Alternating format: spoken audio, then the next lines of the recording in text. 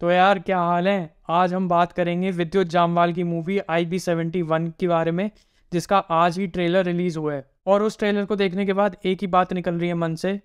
Wow क्या trailer बनाया है। यानी बेसिकली इंडो पाकिस्तान वॉर की है जो 1971 में हुआ था और उसमें जो पाकिस्तान ने हमारे आज तक का सबसे बड़ा सरेंडर वर्ल्ड वॉर टू के बाद जो किया था 92,000 सोल्जर्स ने सरेंडर किया था विद इन थर्टी मिनट्स उनके जनरल ने 92,000 सोल्जर्स के साथ सरेंडर किया था ढाका रीजन में बांग्लादेश में। आप लोग सोच रहे हो यार एक और नई स्पाई थ्रिलर मूवी है इसमें क्या नया होगा? वही इंडिया पाकिस्तान दिखाएँगे। बट नहीं ये जो स्टोरी है ये ट्रू इवेंट्स पे बेस्ड है। इस मूवी के डायरेक्टर भी वही हैं जिन्होंने द गाजी अटैक डायरेक्ट की थी।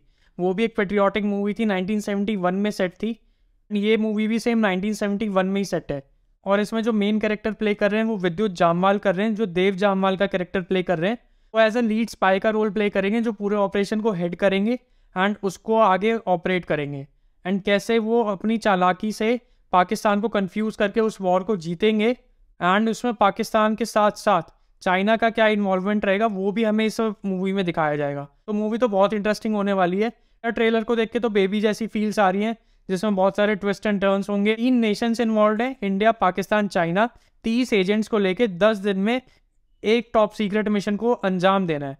ट्रेलर देखे तो यार, काफ़ी अच्छे वाइब्स आ रहे हैं कि पाकिस्तान की एयर स्पेस कैसे ब्लॉक करी जाएगी और वो पाकिस्तान से ही करवाई जाएगी।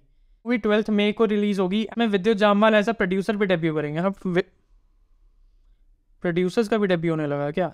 एंड इस मूवी के डायरेक्टर हैं संकल्प रेड्डी, जिन्होंने गाजी अटैक जैसी मूवी को डायरेक्ट किया है एंड जो एक नेशनल अवार्ड विनर डायरेक्टर हैं।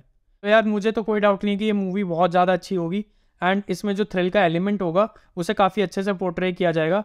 विद्युत जामवाल के जो एक्शन सीन्स हैं, वो भी काफ़ी अच्छे से दिखाए जाएँगे, क्योंकि वो उनकी स्पेशलिटी है, और मुझे नहीं लगता कि वो मिस होगी इसमें। एंड विद्युत जामवाल जैसे एक्टर का एक्शन देखने के लिए शायद वापस से ऑडियंस थिएटर की तरफ़ आने लगे। यार, ये था मेरा review I B seventy one के ट्रेलर का। अगर आपको ये वीडियो पसंद आई है तो इसे लाइक करिए शेयर करिए इसे अपने दोस्तों के साथ, और कमेंट्स में मुझे बताइए कि आप कितने एक्साइटेड हैं ये मूवी को देखने के लिए, और एंड आपको ये ट्रेलर कैसा लगा? और क्या आप इस मूवी को थिएटर में देखना चाहेंगे। एंड अनटिल नेक्स्ट टाइम मैं मिलता हूँ आपको नेक्स्ट वीडियो में।